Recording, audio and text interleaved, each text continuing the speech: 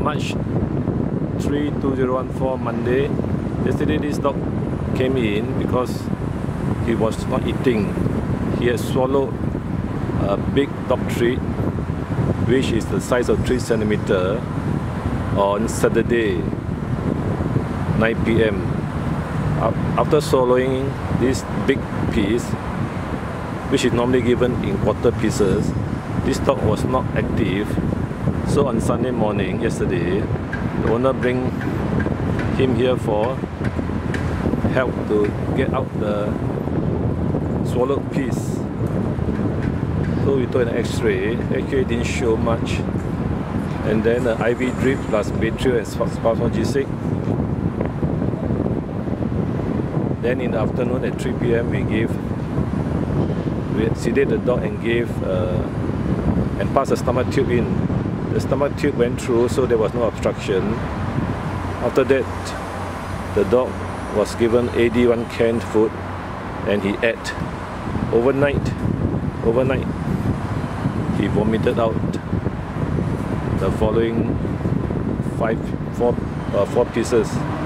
The, the original big piece is swallowed and the usual quarter pieces normally fed to him over the months.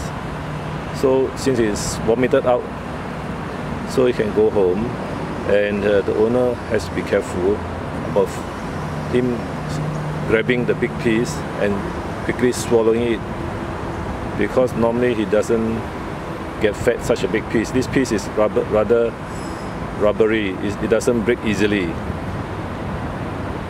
And the dog must have swallowed it into the esophagus and later on, after giving the painkiller and this spasmogesic, it must have gone down to the stomach.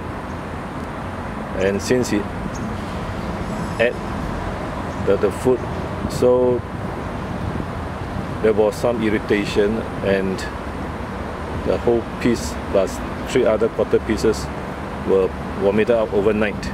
We discovered the pieces this morning, 3rd of March 2014 at 9 a.m. So the advice is not to buy this type of rubbery treats and cut them to small pieces as has been done here in this case. Now you can see the dog it looks much more active and more alert. Open his mouth, only that his teeth. His teeth needs dental scaling. Now you look at the left side, further back, further back, further back, you can see that there is periodontal disease of the of the back of the molars. And this periodontal disease, further up, up upper one, not upper one, you can see that the tartar is there how old is the dog? I think this dog is six years old and has never had done dental. See this side?